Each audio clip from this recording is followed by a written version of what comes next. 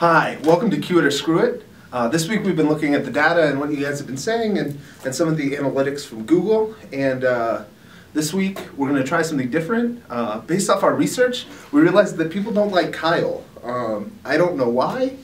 Actually, I do know why. I'm not going to tell you. Um, but Alright, this week go into, we're going gotta go to. record. All right, I'll see you later. Oh, hey, Hey, we ready to film out another episode?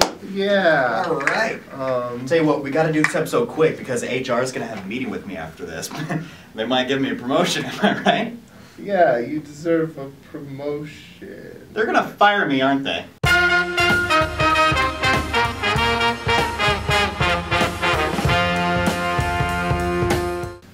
For real now, uh, welcome to Queue It or Screw It. Um, Kyle's not really fired. He's just on probation. Yep. For not being able to take a joke. Hmm. Okay, so this week in the Queue It or Screw It lab lounge area, we watched the movie Movie 43, Yes. starring just about everybody in Hollywood. Yeah. That being said, didn't make it a good movie. I mean, what it was is it was just a culmination of little scenes and snippets and vignettes put together with a bunch of different actors. Uh, and basically, what you find out that they are, they're pitches Mhm. uh, to a movie executive by like an old washed up screenwriter who's just trying to make like one last big film. But they're all terrible. Not just terrible, terrible and disgusting. They're not even entertaining to watch in the context of in the movie they're supposed to be terrible. Yeah. It, it's not funny. It it wasn't even like I'm laughing because this is supposed to be bad. I'm not laughing because it's not funny, and and it disgusts me. Yeah. I just I felt dirty. Did you feel dirty after watching After 43? some of them, there's the first one with Hugh Jackman, and Which uh, set the tone for the movie right away was I know. hey, we're willing to cross every single line and everything that that you find a little disturbing, we'll go way beyond that. And it wasn't even like irreverent. It was just let's be grotesque for the sake of being outrageous. It didn't make any sense. It didn't make it cohesive or entertaining at all. I just kept sitting there, and I was when I watch these movies, I try to pay attention. I really am trying to do nothing else. I'm not trying to do homework. And it's Just better if watch you don't. It's, if it's and it was better if I if I didn't pay attention at all. Um, I just I kept sitting there thinking, this has got to get better somehow. Something has got to give. And there was one, I will say, and it took way too long to get there, but the Terrence Howard vignette, which they used almost the entirety of in the uh, trailer, Uh huh. but it, it actually did make me laugh pretty much throughout the entire thing. I'm not sure if it was funny because it was actually funny, or if it was just the best out of everything that was terrible, that at that point there was nothing I could do but laugh. But The lowest standards were set, Yes. and then that that scene came in. And then at the end, it became even more self aware like, oh, this is a movie within a movie within a movie, and it just. It didn't make it any better. Did you finish the movie? I got 40 some minutes in, and there was one about period blood, and I was just like, you Yeah. know what? I'm done. I've, I've decided to be done. Um, with that said, I thought a couple of the sketches before that pretty funny.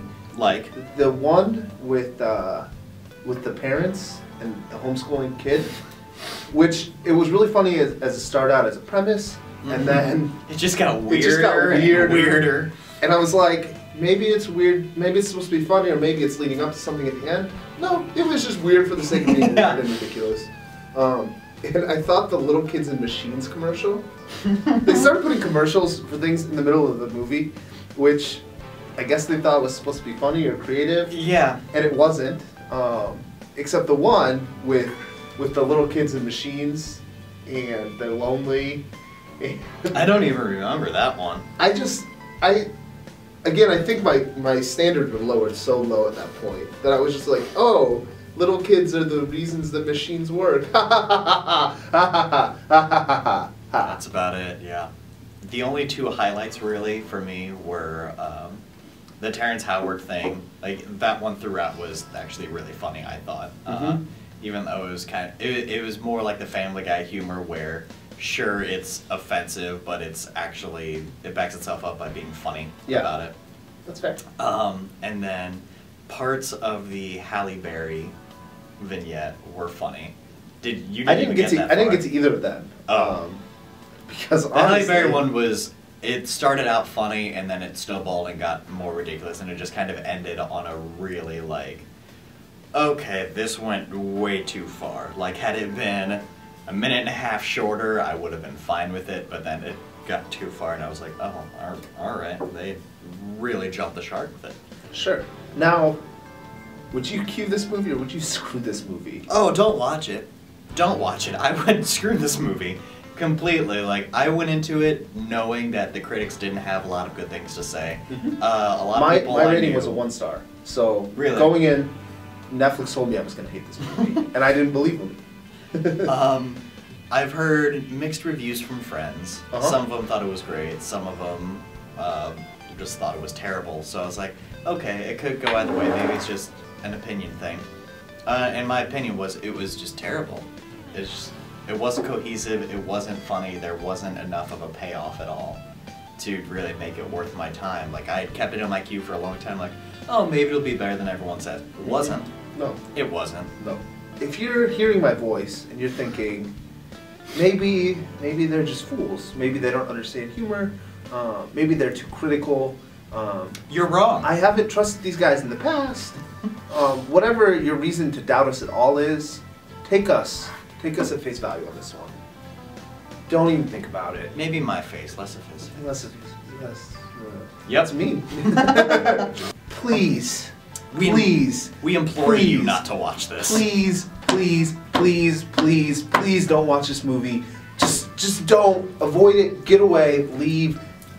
Oh, I don't even. I can't even put into words how bad this movie was and how much I hated it. No. I just don't. Don't even think about it. D- just don't. Please, please. I'd rather get hit by a bus than watch movie 43 again. Fair enough. All right. Well, this has been another episode of Queue It or Screw It. Uh, you can tell us what you thought of this movie, whether you liked it or not. You didn't like it. well, you can tell us on our Twitter whether or not you did. Um, you can also look at our blogspot to see our more in-depth review of this. And uh, I can't imagine you'd have anything good to say. I can't imagine you'd really want to research this movie much further. Yeah. Just don't. Just please. Please. Please. I'm Andrew Teeter. I'm Kye Hogan. Thanks for watching.